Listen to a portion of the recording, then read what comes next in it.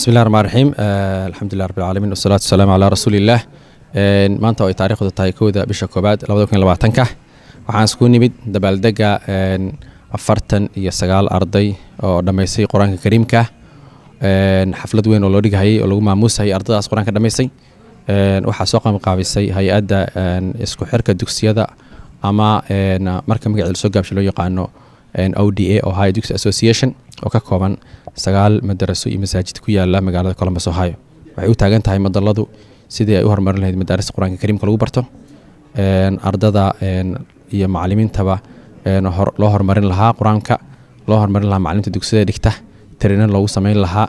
Sidoo kale tartamada qur'aanka kariimka ay sanadkaas u qabataa iyo ardada markii qur'aanka dhammaysan sidaan maanta aan sameyn oo kale ayay waxay u sameeyaan graduation ayay u diyaariyaan dadka dhammaan dadko dhan ka soo qayb galaan marka waxay soo jirtay labadii sana ugu dambeysay waxaa la asaasay dhammaadkii labada kun toddobiyo tobankii.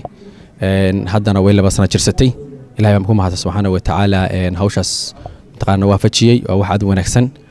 Waxaan u mahad celinaynaa marka intii maanta nagala soo qayb gashay haddii ahaan lahayd waalidiinta haddii ahaan lahayd macalimiinta madaarista haddii ahaan lahayd communitiga reer columbus ohio iyo dhammaan marti sharaf kala duwaneyd aadii ardayda qur'aanka dhammaystay iyo walaalahoodii iyo familadooda dhammaantood maalin farxad ayaanu ahayd dadku aad wada faraxsanaayeen lagu farxayay ardaydaas qur'aanka kariimka dhammaysay una dabaaldegaysay waxyaabaha kale oo ay u taagan tahay madaladu waxaa ka mid ah wax ka qabashada iyo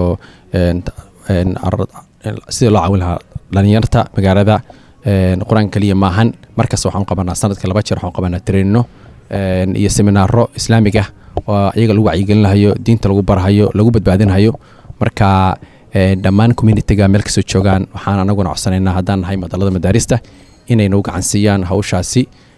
Sidii dhalinyarada dhalinyarada soomaaliyeed ee yaryarka ee soo kacaysa loo badbaadin lahaa haddii ahaan lahayd diintooda haddii ahaan lahayd akhlaaqdooda iyo khiyamkooda haddii ahaan lahayd identitygooda inay soomaali yihiin dad muslimiina yihiin.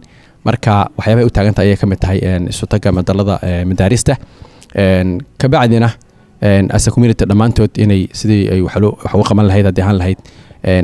Isku xirka communitiga haddii ahaan lahayd wacyigelintiisa waalidiinta dadweynaha dhammaan masaajidda inta masaajidda ka baxsan communitiga siduu ka kooban yahay o dhan ayaan mataqaanaa ay u taagan tahay sidii ay u wacyigelin lahayd oo wax ugu qaban lahayd